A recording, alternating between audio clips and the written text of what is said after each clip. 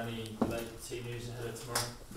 No, just everyone's um, um, you know raring to go really. Um, I think a few of the, some of the players have said this week it's it's very unusual. Something we mentioned to you know, and particularly for some players who's you know playing for those World Cup spots, you know, for your first game of the season to be the biggest game of your season, and uh, it's incredible unusual. It's normally, you know, four or five thousand watching you, and it doesn't really matter if you win or lose. But obviously, this one's uh, a totally different proposition. Is, is the Ireland team what you're expecting? that the kind of line you're expecting to face? Um, well, I suppose so. Yeah, yeah. Um, I think um, uh, Warren and and George had a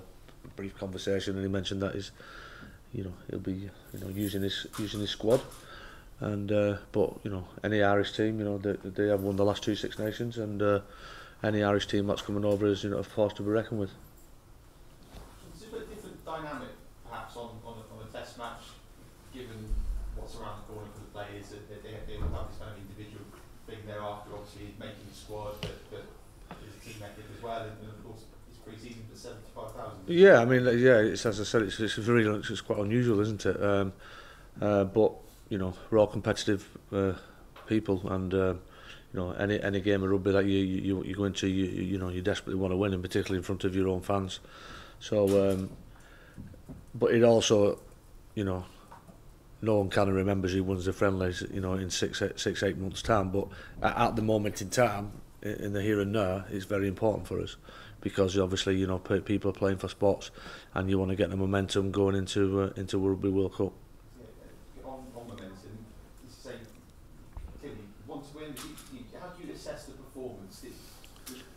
it, is it difficult to look at a team performance? Um, you know, it's, I was thinking, it's, it's almost like we're going into the unknown a little bit because we've got a lot of players who haven't played together before.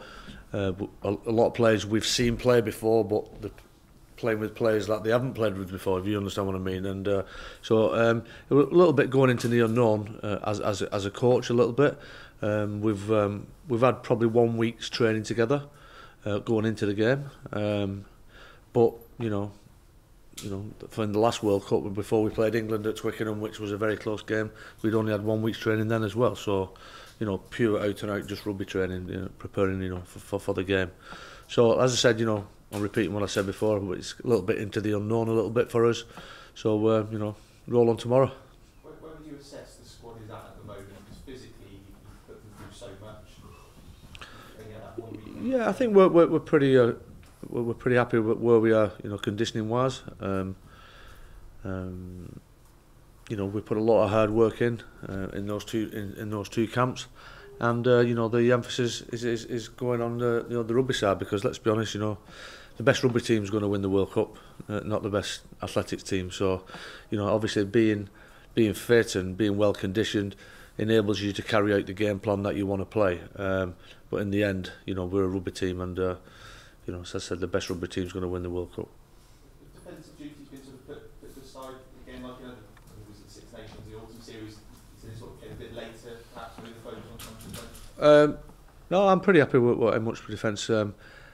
I've, I've got to say on Tuesday because uh, the combinations hadn't been together very hardly at all.